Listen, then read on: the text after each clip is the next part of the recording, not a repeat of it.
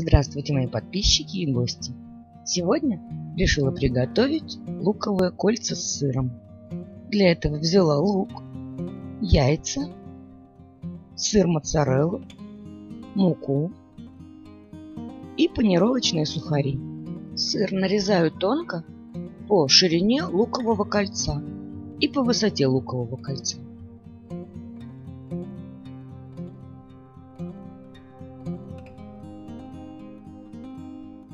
Лук нарезаю кольцами.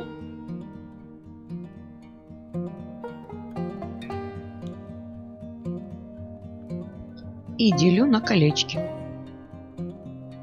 И складываю их через одно кольцо.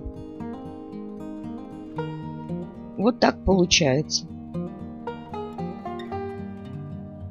И у луковых колец снимаю пленочку. Ну, если она снимается. Если не снимается, тогда можно не снимать. Ну а теперь между двумя луковыми кольцами вставляю сыр. Правильнее, конечно, нарезать сразу лук и посмотреть, какой толщины у него кольца. Вставляю так, чтобы было плотно, чтобы кольца не разваливались. И вот здесь я допустила ошибку. Сначала нарезала сыр, а потом лук. И луковые кольца оказались толще, нежели я нарезала кусочки сыра. Ну, поэтому приходится мудрить и вставлять по два кусочка сыра.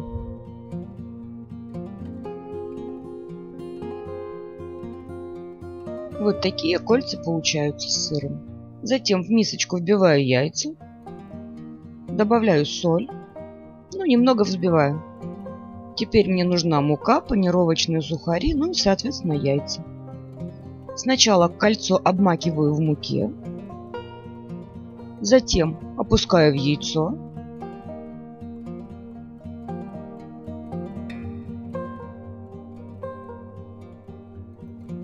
Потом хорошо обваливаю в панировочных сухарях. После этого можно жарить.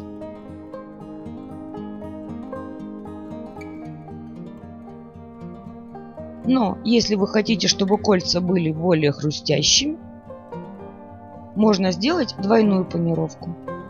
Для этого кольцо еще раз обмакнуть в яйце и опять в панировочных сухарях.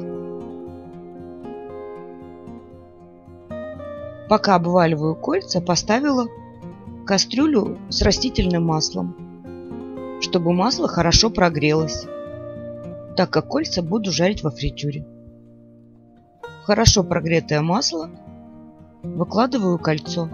Можно также это делать на небольшой сковородке, чтобы поместилось несколько колец сразу. Обжариваю до золотистого цвета. Выкладываю на бумажную салфетку, чтобы убрать лишний жир. Вот такие луковые кольца получились. Подаю их с кетчупом. Если понравилось, подписывайтесь, чтобы не пропустить новые интересные рецепты. Оставляйте комментарии, делитесь с друзьями. Нажимайте на колокольчик, чтобы приходили оповещения о новых рецептах.